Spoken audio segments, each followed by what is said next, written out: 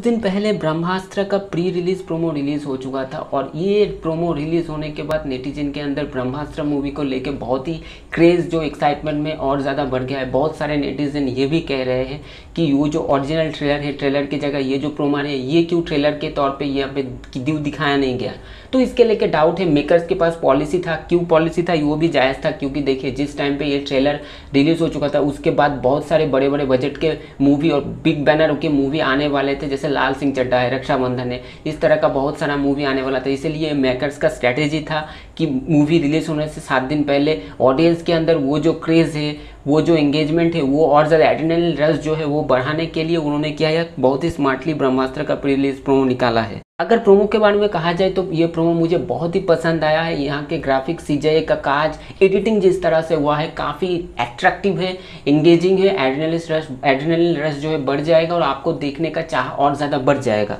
अगर इस मूवी इसका प्रोमो का अगर एनालिसिस करें तो सबसे पहले हम लोग जो देखते हैं यहाँ पे, मौनी राय का कैरेक्टर को दिखाई देता है। वो किसी को यहाँ पे ब्रह्मदेव करके पुकारते हो। ब्रह्मदेव क्या है? बेसिकली जो इविल फोर्स है, उसका जो मतलब जिसको वर्शिप करते हैं, उसी का मतलब विलेन जो जिस तरह का होता है, उसी तरह का है यहाँ पे ब्रह्मदेव। जिसके, जिससे ये पावर मिला है मौनी राय के कैरेक्टर को। मौनी राय के कैरेक्टर का अगर दाएँ हाथ अगर अच्छे से आप देखेंगे देखेंगे लाल रंग का पत्थर है।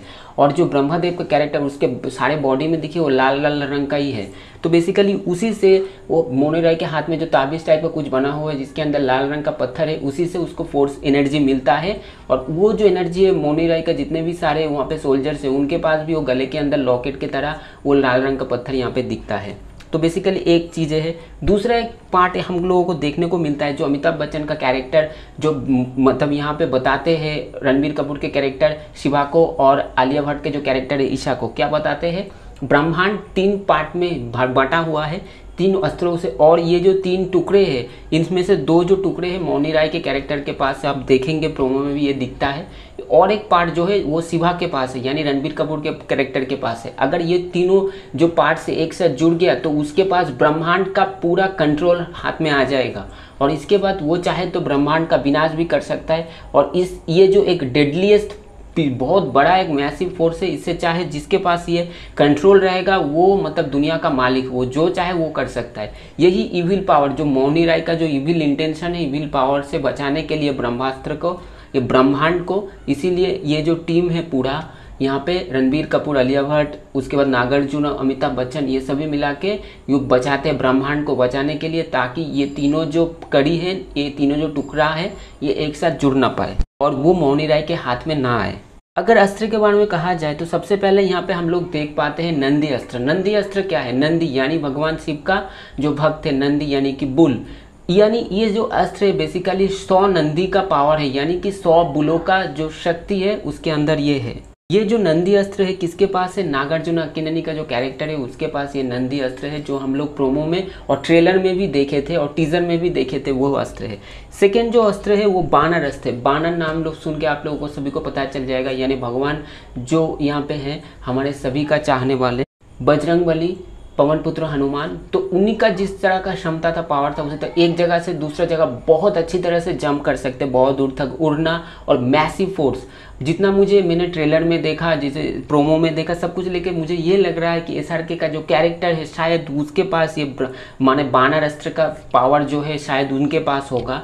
तो ये बहुत सारे नेटिजन के अंदर भी ये जो मतलब ये जो बात है, घूम रहा है और मुझे भी मुझे भी यही लग रहा है।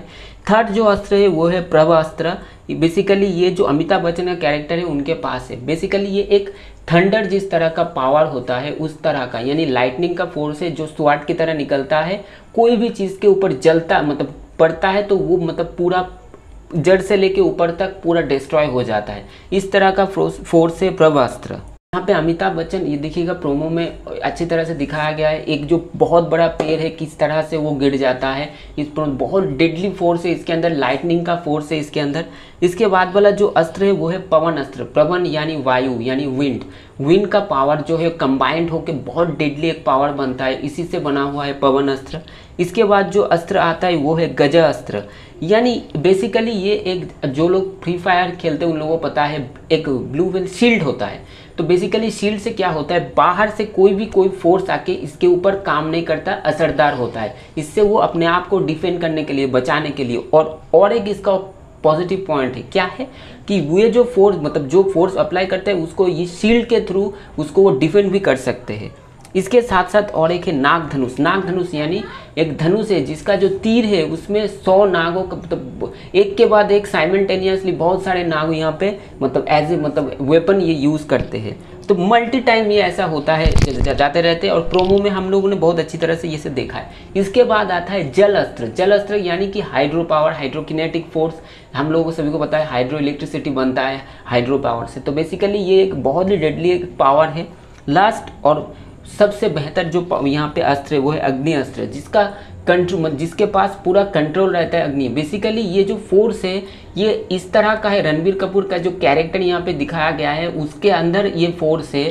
पहले उसको पता नहीं चलता है कि how to control this force इसके बाद वो अमिताभ बच्चन के पास जाता है, उससे वो धीरे धीरे धीरे धीरे वो सीखता है। जो हम लोगों ने प्रोमो और ट्रेलर में देखे हैं कि उसको सीखने को मिलता है कि बेसिकली इस फोर्स को कैसे कंट्रोल करते कर, कर सकते हैं और कैसे एज ए वेपन इसको इस्तेमाल कर सकते हैं। वही उन्होंने सीखा और सीखने के बाद देखिएगा ईशा और यहाँ पे शिवा का कैरेक्टर यानी कि रणवीर कपूर भट्ट का जो कैरेक्टर है, शिवा और ईशा, दोनों ये दिखाते हैं कि मुझे अग्नि से, मुझे इससे आँख से कुछ नहीं होता। तो ये दिखाया ओवरऑल जिस तरह से वो कंट्रोल करता है, और गाना भी है, गाने में भी आप देखेंगे, वो सीखता है कैसे अग्नि को मतलब transfer as a weapon as a power as a कैसे ट्रांसफ़र कर सकते हैं। और वो बहुत तरह का वो जो एनर्जी है, अग्नि का जो फोर्स है, उसको बहुत तरह का शेप में भी वो एज ए वेपन यूज़ कर सकते हैं शेप बना के उसको एज ए वेपन इस्तेमाल कर सकते हैं, कोई भी फोर्स के तरह। ऑनेस्टली अगर मुझसे आप पूछे तो मुझे ये प्रोमो काफ़ी दिलचस्प लगा और जिस जिस तरह से न्यूज़ आ रहा है चारों ओर से, जितनी सारे मल्टीप्लेक्स चेन्स है, जैसे पीवीआर मान लीजिए, इसके बाद आइनॉक्स है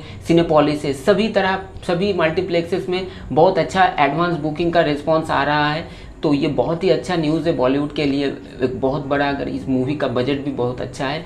और ये मूवी का सिक्वल भी आने वाला है, क्योंकि देखिए ये एक अस्त्रवर्स यानी कि जैसे हम लोगों के मार्वल्स का जो यूनिवर्स है, उस तरह आयन मुखर्जी डायरेक्टर ने इसका जो एक यूनिवर्स बनाया, उसका नाम रखा है अस्त्रवर्स वो आता रहेगा। ये जो पहला मूवी है ब्रह्मास्त्र पार्ट वन शिवा इसके बाद भी और बहुत सारे पार्ट आने वाले हैं। तो इस मूवी का सक्सेस बनना, इस मूवी के सिक्वल और इसके भविष्य के लिए बहुत इंपॉर्टेंट है।